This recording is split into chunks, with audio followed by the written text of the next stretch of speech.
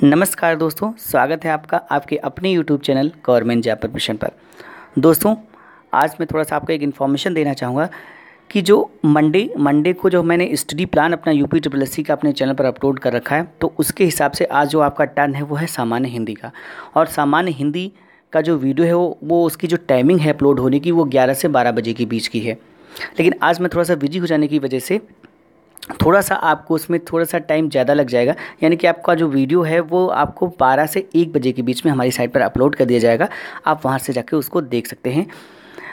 तो दोस्तों, और अब हम स्टार्ट करते हैं आज के अपने करंट अफेयर्स के बारे में। तो आज जो है 18 जून है। तो आज हम दोस्तों डिस्कस करेंगे 18 जून 2018 के कुछ इंपॉर्टेंट जीके पॉइंट्स तो दोस्तों, ज़्यादा समय आपका न लेते हुए चलिए शुरू करते हैं आज का हमारा वीडियो सेशन तो दोस्तों, अभी आज का जो हमारा पहला क्वेश्चन है वह है, हाल ही में किस मंत्रालय ने सभी विश्वविद्यालयों को प्रतिवर्ष दीक्षांत समारोह आयोजित करने का आदेश दिया है? तो दोस्तों, अभी हाल ही में एचआरडी मंत्रालय ने, यानी कि ऑप्शन नंबर दो आपका यहाँ पर सही आंसर हो जाता है। तो जो एचआरडी मंत्रालय है, जिसे हम बोलते हैं human resource and development ministry, या आप हिंदी में अगर बोलें तो कह सकते हैं मानव संसाधन एवं विकास मंत्रालय। तो इसने अभी हाल ही में आदेश दिया है कि अब से सभी विश्वविद्यालयों को प्रतिवर्ष दीक्षांत समारोह आयोजित करना होगा। ऐसा आदेश एचआरडी मंत्रालय के द्वारा अभी हाल ही में दिया गया है। तो नेक्स्ट क्वेश्चन हमारा है हाल ही में किस राज्य ने ई सिगरेट पर प्रतिबंध लगाया है? तो दोस्तों, अभी हाल ही में तमिलनाडु ने ई सिगरेट पर प्रतिबंध लगाया है। यानी कि ऑप्शन नंबर चार आपका यहाँ पर सही आंसर हो जाएगा। अभी हाल ही में तमिलनाडु ने ई सिगरेट पर प्रतिबंध लगाया है। ठीक है दोस्तों? तो दोस्तों, अब यहाँ पर थोड़ा सा एक आपका टर्म आता है ई सिगरेट तो सिगरेट के बारे में आप जानते होंगे ई सिगरेट क्या चीज़ होती है, इसके बारे में आपको थोड़ा सा जानकारी दे दूँ। तो दोस्तों, जो ई सिगरेट होती है, ये सिगरेट की तरह होती है, ये एक इलेक्ट्रॉनिक सिगरेट आप बोल सकते हैं, इसमें एक सेल होती है और जो निकोटिन होता है, वो आपका लिक्विड फॉर्मेट में होता है और उस सेल के द्वारा ये सिगरेट ऑपरेट होती है और उसी के द्वारा इसमें भाप बनता है, जिससे आप सिगरेट के रूप में यूज़ करते हैं और उसका सेवन करते हैं। और ये ऐसा कहा जाता है कि ये जो आपकी सिगरेट होती है, उससे कम जो है नुकसानदायक होती है। लेकिन ऐसा कुछ नहीं, सिगरेट तो सिगरेट ही होती है तो वो नुकसानदायक ही होगी। तो इसीलिए भी हाल ही में तमिलनाडु जो सरकार है, उसने अभी हाल ही में ई सिगरेट पर प्रतिबंध लगाया है। ठीक है दोस्तों, अब दोस्तों एक क्वेश्चन और बन जाता है। तमिलनाडु की यहाँ पर बात की गई है तो तमिलनाडु के बारे में भी थोड़ा सा जानकारी लेना चाहिए। तो दोस्तों जो तमिलनाडु है, इसकी जो राजधानी है, वो है चेन्नई, और जो तमिलनाडु के इस समय सीएम है तो वह है के पलानी स्वामी और जो तमिलनाडु के गवर्नर हैं तो वो हैं बनवाली लाल पुरोहित। तो ये कुछ तमिलनाडु से संबंधित भी जानकारी आपके लिए महत्वपूर्ण है, आपके एग्ज़ाम के पॉइंट ऑफ़ व्यू से आवश्यक है। तो बढ़ते हैं अगले क्वेश्चन की तरफ़। तो दोस्तों, जो यहाँ पर नेक्स्ट क्वेश्चन हमारा है, क्वेश्चन नंबर तीन, वह है, हाल ही में किसने घोषणा की है कि केंद्रीय विश्वविद्यालय, केंद्रीय विश्वविद्यालयों में पीएचडी से सीधे शिक्षक भर्ती होगी? तो ये भी इंपॉर्टेंट क्वेश्चन है। तो दोस्तों, अभी हाल ही में प्रकाश जावेडकर के द्वारा यह घोषणा की गई है। यानी कि ऑप्शन नंबर तीन आपका यहाँ पर सही हो जाएगा। जो प्रकाश जावड़ेकर है, इन्होंने यह घोषणा की है कि 2021 से जो भी केंद्रीय विश्वविद्यालय होंगे, उसमें जो भी असिस्टेंट प्रोफेसर की जो भर्तियाँ होंगी, वो डायरेक्ट सीधे पीएचडी के द्वारा होंगी। यानी कि अब, अभी तक नेट अनिवार्य था इसके लिए, लेकिन अब क्या किया गया है कि अब 2021 से जो भर्तियाँ होंगी असिस्टेंट प्रोफेसर की तो उसमें आपको पीएचडी अनिवार्य होगा, यानी कि डायरेक्ट पीएचडी के थ्रू वो भर्तियाँ की जाएँगी। ये घोषणा जो है, अभी हाल ही में प्रकाश जावड़ेकर के द्वारा की गई है। तो नेक्स्ट क्वेश्चन जो हमारा यहाँ पर है वह है, हाल ही में किस कंपनी ने भुगतान आधारित यूपीआई सेवा की शुरुआत की है? सेवा की है, यहाँ पर थोड़ा सा क्वेश्चन में टाइपिंग मिस्टेक है तो इसको आप माइंड मत करिएगा। तो हाल ही में किस कंपनी ने भुगतान आधारित यूपीआई सेवा की शुरुआत की है? तो दोस्तों, इस सेवा की जो शुरुआत है तो वो अभी हाल ही में आपकी चिर परिचित व्हाट्सएप के द्वारा की गई है, यानी कि ऑप्शन नंबर दो आपका यहाँ पर सही आंसर हो जाता है। ठीक है दोस्तों तो जो ये व्हाट्सएप है, इसने हाल ही में इस सेवा की शुरुआत की है और इसके अंतर्गत जब आप व्हाट्सएप को अपडेट करेंगे अपडेटेड वर्जन पर ये सुविधा उपलब्ध है तो आपको पाँच हज़ार रुपये तक का भुगतान इसके द्वारा आप कर पाएँगे। ठीक है? आप जब व्हाट्सएप को अपडेट करेंगे। ठीक है दोस्तों? तो यहाँ पर बात की गई है व्हाट्सएप की तो थोड़ा सा व्हाट्सएप के बारे में भी जान लेते हैं। तो जो व्हाट्सएप है दोस्तों, इसकी जो शुरुआत है, ये 2009 में जॉन कॉम और बैन ये क्या बोलते हैं एक्टन दो जो लोग थे, उनके द्वारा इसकी शुरुआत की गई थी। किसके द्वारा? 2009 में इसकी शुरुआत की गई थी। जॉन कॉम के द्वारा और बैन एक्टर ने मिलकर इसकी स्थापना की थी। ठीक है? और उसके बाद फरवरी 2014 में फेसबुक ने इसे nine nineteen point three billion अमेरिकी डॉलर से खरीद लिया था। यानी कि 2014 में व्हाट्सएप को फेसबुक ने 19.3 बिलियन डॉलर के साथ इसको खरीद लिया था। ठीक है? तो दोस्तों, इस समय जो सीईओ e हैं इसके, यानी कि व्हाट्सएप के जो इस समय मौजूदा जो चीफ एग्जीक्यूटिव ऑफिसर हैं तो वो है जॉन कॉम और दोस्तों इसका जो मुख्यालय है तो वो है कैलिफ़ोर्निया और दोस्तों, अभी हमने यहाँ पर बात की यूपीआई की तो इसका फुल फॉर्म भी हमारे एग्ज़ाम के पॉइंट ऑफ़ व्यू से इंपॉर्टेंट है तो ये भी हमें जान लेना चाहिए।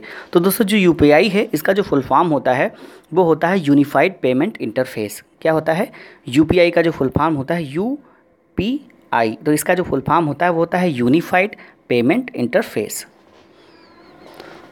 तो नेक्स्ट जो हमारा यहाँ पर क्वेश्चन है हाल ही में कहाँ पर राष्ट्रीय जनजाति संग्रहालय के निर्माण का निर्णय लिया गया है? तो दोस्तों अभी हाल ही में जो राष्ट्रीय जनजाति संग्रहालय के निर्माण का निर्णय लिया गया है तो ये जो निर्णय है ये नई दिल्ली में लिया गया है। यानी कि यहाँ पर आपका ऑप्शन नंबर दो सही आंसर हो जाता है। ठीक है दोस्तों? तो जो आ, इस समय राष्ट्रीय जनजातीय मंत्री हैं तो वो हैं श्री जुएल ओरम। ठीक है दोस्तों तो जब चूँकि बात की गई यहाँ पर राष्ट्रीय जनजातीय संग्रहालय की तो राष्ट्रीय, एक क्वेश्चन हमारे दिमाग में आता है कि राष्ट्रीय जनजाति समय मंत्री कौन है? तो दोस्तों, जो राष्ट्रीय जनजातीय मंत्री हैं इस समय तो वह हैं श्री जुएल ओरम। ठीक है तो इसका अब बात कर लेते हैं कि ये जो संग्रहालय है, इसका मेन उद्देश्य क्या है? तो दोस्तों, ये जो संग्रहालय है, इसका जो उद्देश्य है, जो वनों में जो जनजातियाँ रहती हैं, यानी कि जो निवास करती हैं तो उनकी विरासत को इसके द्वारा प्रदर्शित किया जाएगा। ये इसका उद्देश्य रहेगा, इसका जो थीम रहेगा इस राष्ट्रीय जनजाति संग्रहालय का तो इसके अंतर्गत ये किया जाएगा कि जो जनजातियाँ वनों में निवास करती हैं तो उनकी जो विरासत है, उसको प्रदर्शित किया जाएगा। नेक्स्ट क्वेश्चन है हमारा क्वेश्चन नंबर सिक्स हाल ही में अतुल्य भारत वेबसाइट किसने लॉन्च की है? तो दोस्तों, जो अभी हाल ही में अतुल्य भारत वेबसाइट है, ये जो लॉन्च की गई है तो ये लॉन्च की गई है श्री जे के अल्फांस के द्वारा, यानी कि ऑप्शन नंबर तीन आपका यहाँ पर सही आंसर हो जाता है। ठीक है? तो जो जे के अल्फांस हैं, श्री जे के अल्फांस ये वर्तमान में पर्यट ये पर्यटन राज्य मंत्री हैं। तो जे के अल्फांस कौन है, ये भी क्वेश्चन इंपॉर्टेंट है आपके एग्ज़ाम के पॉइंट ऑफ़ व्यू से। तो दोस्तों, जो जे के अल्फांस हैं, वो वर्तमान में पर्यटन राज्य मंत्री हैं। ठीक है? अब दोस्तों, यहाँ पर जान लेते हैं कि अतुल्य भारत वेबसाइट क्या है, इसका क्या मकसद है। तो दोस्तों, इसमें जो है इंडिया को एज अ डेस्टिनेशन प्रेजेंट किया जाएगा। ठीक है? और इसमें इंडिया की जो स्पिरिचुअल साइट्स हैं हेरिटेज साइट्स हैं कल्चरल साइट्स हैं, और इंडिया के रो जो इंडिया के योग हैं, उनको इसमें रिप्रेजेंट किया जाएगा। ठीक है? तो नेक्स्ट पॉइंट है हमारा क्वेश्चन नंबर सेवन तो वह है, हाल ही में किस कंपनी ने जल्द ही ई कॉमर्स कंपनी लॉन्च करने की घोषणा की है? तो दोस्तों, ये जो घोषणा है तो ये अभी हाल ही में ई रिलायंस के द्वारा की गई है, यानी कि ऑप्शन नंबर एक आपका यहाँ पर सही आंसर हो जाता है। तो दोस्तों, अब यहाँ पर बात की गई है ई कॉमर्स कंपनी की। तो दोस्तों ये ई कॉमर्स कंपनी क्या होती है? इसके बारे में भी जान लेते हैं। तो दोस्तों जो ई कॉमर्स कंपनी होती हैं, जैसे आपने देखा होगा अमेज़ोन फ्लिपकार्ट स्नैपडील इससे हम क्या करते हैं? ऑनलाइन शॉपिंग करते हैं। तो यही सारी जो कंपनी इस तरह की जो कंपनीज़ होती हैं, वही ई कॉमर्स कंपनी कहलाती हैं। ठीक है नेक्स्ट क्वेश्चन हमारा है। हाल ही में किस राज्य में twenty four into seven mobile सेवा शुरू की गई है? तो दोस्तों ये भी काफ़ी इंपॉर्टेंट क्वेश्चन है। तो अभी हाल ही में त्रिपुरा में किस राज्य में त्रिपुरा में twenty four into seven mobile सेवा शुरू की गई है, ठीक है? किस राज्य में सेवा शुरू की गई है? तो अभी हाल ही में ये जो मोबाइल सेवा है, ये त्रिपुरा में शुरू की गई है, यानी कि ऑप्शन नंबर दो आपका यहाँ पर सही आंसर हो जाता है, ठीक है? तो दोस्तों, ये जो सेवा है, ये जीपीएस बेस्ड सेवा होगी, और इसमें आपको क्या होगा कि आपको ये इसका जो मेन उद्देश्य रहेगा, ये मेन फोकस रहेगा, वो महिलाओं की सिक्योरिटी के पर्पज़ से इस सेवा की शुरुआत की गई है। मेन फोकस इसका महिलाओं की सिक्योरिटी है और उसके पर्पज़ से इस सेवा की शुरुआत की गई इसके द्वारा आप ट्वेंटी फोर इंटू सेवन चौबीस घंटे आप मोबाइल से कभी भी अगर किसी को कोई दिक्कत है, कोई समस्या है तो आप मोबाइल फ़ोन से आप संपर्क कर सकते हैं और जीपीएस सिस्टम के तहत वो उस लोकेशन तक आपको पुलिस की पहुँच मिलेगी और वहाँ पर आपको सेवा प्रदान की जाएगी। ठीक है तो नेक्स्ट जो हमारा यहाँ पर हाँ थोड़ा सा एक और पॉइंट यहाँ पर जान लेते हैं। यहाँ पर हमने बात की है त्रिपुरा की। तो दोस्तों, त्रिपुरा के बारे में भी थोड़ा सा जानना ज़रूरी है हमारे एग्ज़ाम के पर्पज़ से। तो जो त्रिपुरा है, इसकी जो राजधानी है तो वो है अगरतला और जो त्रिपुरा के वर्तमान में सीएम हैं, वो हैं विप्लव देव। ठीक है? तथा जो गवर्नर हैं त्रिपुरा के इसमें तो वो हैं तथागत राय। ठीक है? नेक्स्ट पॉइंट हमारा है क्वेश्चन नंबर नाइन वह है हाल ही में नीति आयोग की गवर्निंग काउंसिल की। चौथी बैठक की अध्यक्षता किसने की? तो दोस्तों, जो नीति काउंसिल की गवर्निंग नीति आयोग की जो गवर्निंग काउंसिल है, इसकी जो अभी हाल ही में चौथी बैठक आयोजित की गई तो इसकी जो अध्यक्षता है तो ये श्री प्रधानमंत्री नरेंद्र मोदी के द्वारा की गई, यानी कि ऑप्शन नंबर एक आपका यहाँ पर सही आंसर हो जाता है। ठीक है, और इसकी जो बैठक की आयोजन है, ये आपका राष्ट्रपति भवन में किया गया। ठीक है, अब दोस्तों, बात की गई यहाँ पर नीति आयोग की तो नीति आयोग जो है, इसके जो कुछ इंपॉर्टेंट क्वेश्चन इससे संबंधित भी बन जाते हैं। तो दोस्तों, जो नीति आयोग है, इस सबसे पहले तो हम जान लेते हैं इसकी स्थापना। तो दोस्तों, जो नीति आयोग है, इसकी स्थापना एक जनवरी 2015 में की गई थी। कब की गई थी? एक जनवरी 2015 में नीति आयोग की स्थापना की गई। ठीक है? और दोस्तों, जो नीति आयोग का अध्यक्ष होता है, वो स्वयं प्रधानमंत्री होता है, जो कि इस समय हमारे श्री प्रधानमंत्री नरेंद्र मोदी जी हैं। और नीति आयोग के जो उपाध्यक्ष हैं तो वो हैं राजीव कुमार। ठीक है? नेक्स्ट जो क्वेश्चन और एक इंपॉर्टेंट क्वेश्चन है इससे संबंधित, जो सबसे ज़्यादा एग्ज़ाम के लिए महत्वपूर्ण है तो वो है नीति आयोग के सीईओ e वर्तमान में कौन है?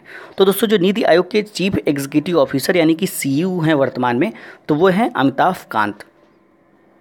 तो इस तरह से ये क्वेश्चन हमारा कंप्लीट हो जाता है। नेक्स्ट क्वेश्चन हमारा है, यानी कि आज के इस जीके सेशन का अंतिम क्वेश्चन तो वो है, हाल ही में किस देश ने अधिक विदेशी श्रमिकों को अनुमति देने का निर्णय लिया है। तो दोस्तों, अभी हाल ही में जापान ने अधिक विदेशी श्रमिकों को अनुमति देने का निर्णय लिया है। तो दोस्तों, इसका रीज़न क्या है, ये भी जानना हमारे लिए ज़रूरी है। ऐसा क्यों किया है जापान ने? तो जापान जो है, उसमें जो युवा शक्ति है, यानी कि युवा लोगों की संख्या कम है। वहाँ की जो ज़्यादातर जनसंख्या है, वो 40 से 50 एज में जा पहुँच चुकी है। और ऐसी स्थिति में उसे युवा कुछ ऐसी फर्म हैं, ऐसी कंपनियाँ हैं जिसमें युवा लोगों की आवश्यकता है। तो जिसकी वजह से जापान के द्वारा ऐसा किया गया है और जापान ने विदेशी श्रमिकों को अनुमति देने का निर्णय लिया है। अब ये निर्णय ले, इसके अंतर्गत क्या किया गया है? तो इसके अंतर्गत ये किया गया है कि इसके अंतर्गत आपको वीज़ा में छूट दी गई है ताकि आप आसानी से वीज़ा में छूट पाकर आप जापान में एंटर कर सकें और वहाँ पर श्रमिकों की संख्या में इजाफा कर सकें। ठीक है? अब दोस्तों यहाँ पर बात कर लेते हैं जापान की। तो दोस्तों जो जापान है, इसकी जो राजधानी है वो है टोक्यो और जो जापान की पीएम है इसमें तो वो है सिंजू अबे। और दोस्तों जो जापान की करेंसी है वर्तमान में तो वो है येन। तो दोस्तों ये थे कुछ इंपॉर्टेंट क्वेश्चन आज के करंट अफेयर्स, यानी कि 18 जून 2018 के इंपॉर्टेंट करंट अफेयर्स। उम्मीद करता हूँ दोस्तों ये वीडियो आपको पसंद आया होगा। अगर आपको पसंद आया है तो इसे लाइक ज़रूर करिए और दोस्तों मैं आपसे रिक्वेस्ट भी करता हूँ कि अपने दोस्तों के साथ भी शेयर करिए। ताकि इसी तरह के वीडियोस हम आपको प्रोवाइड करते रहे, हमें भी प्रोत्साहन मिलता रहे। और दोस्तों, आज का आपका हिंदी, जो सामान्य हिंदी का टर्न है, उसका जो वीडियो है, वो आपको 12 से एक बजे के बीच अपलोड कर दिया जाएगा। आप वहाँ से जाकर देख सकते हैं। तो मिलते हैं दोस्तों, नए वीडियो के साथ। तब तक के लिए थैंक्स फॉर वॉचिंग